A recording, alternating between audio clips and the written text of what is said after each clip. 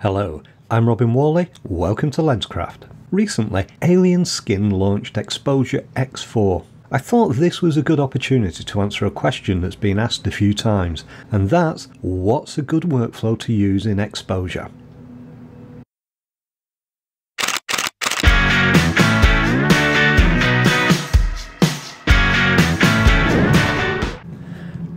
Usually when I produce these videos, I start with the image in Lightroom because that's where I manage my photo library.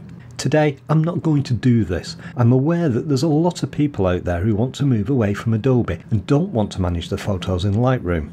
Alien Skin's exposure software provides a very good alternative if you're considering a move like this. Currently on screen, I have a set of images I shot at the weekend. I've already marked the one I want to process by giving it a 3 star rating and creating a flag in the corner. This also marks the image to include it in a smart collection I've created. I'm going to click on the smart collection so you can see the images that have been selected for editing. If you double click the smart collection you can see the criteria I'm using for this selection. Here it says that the image must have at least three stars, it must have been captured in 2018, and that it's been flagged for editing using this inclusion flag. What this allows me to do is search through all my images, flagging them with star ratings, and then the ones I want to edit, I can apply this flag to. These then all appear in this smart collection, and I can work my way through editing each one of them. Once an image has been edited, I can then move it to the completed collection. This makes it really easy to sort through all the images and know which ones I still need to work on. To edit an image, I double click the thumbnail. You can now see the first layers being created in the layers window. I'm going to use this first layer to perform basic corrections to the image. What I'm not going to do is apply any special effects to this layer. I'll start by adjusting the controls in the basics panel.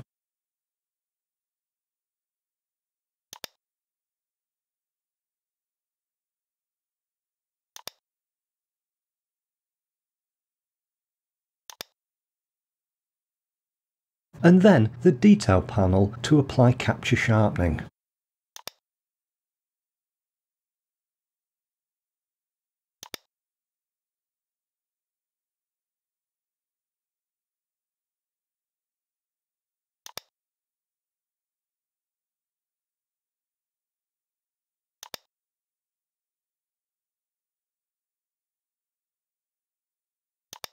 I can now see there's about a stop difference between the top part of the image and the reflection. Although reflections are always darker, I want to balance this image just a little bit better. Because I'm going to be making adjustments to part of the image, I'm going to apply a new layer to do this. I'm then going to add a graduated selection to select the top part of the image.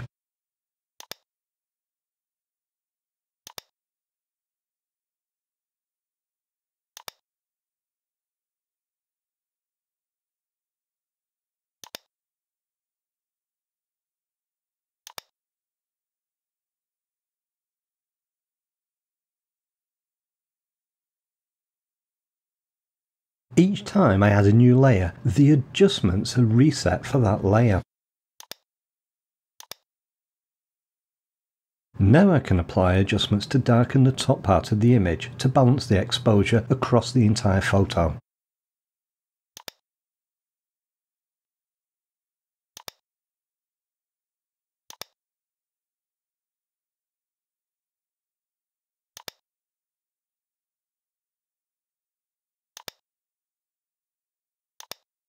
If I want to adjust the colour of the image, I can click the base layer and change the colour in the temperature slider.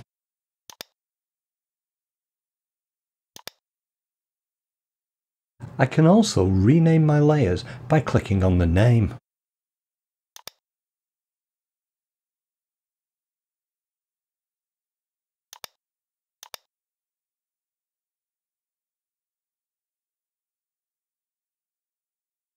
Now that I've corrected my image, I can apply other adjustments to it. I'm going to start by creating a new layer.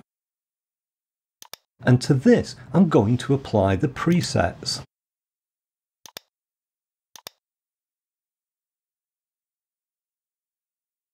The preset I'm going to use is this Fuji Velvia 100F, which is a simulation of the old Fuji Velvia slide film. After this, I'm also going to tweak the saturation layer because I want the shadow areas to appear more saturated than they are.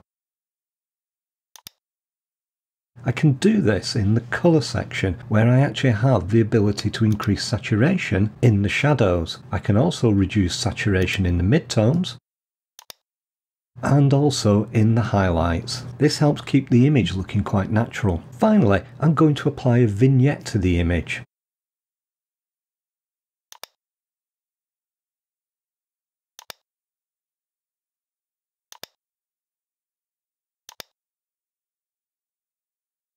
And I'm going to apply the centre of the vignette to this location around the tree.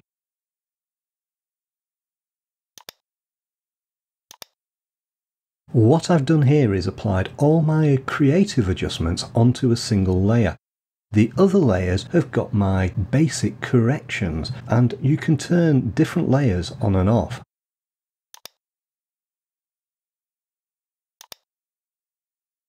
You can also see the difference this has made to the image using the before button.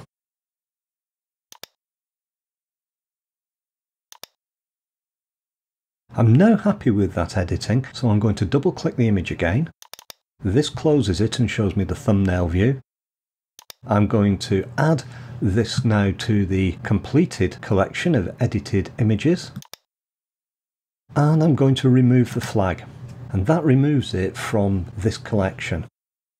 If I go back to my folders, you can see that I'm still in the three stars to be edited smart collection. The image is gone.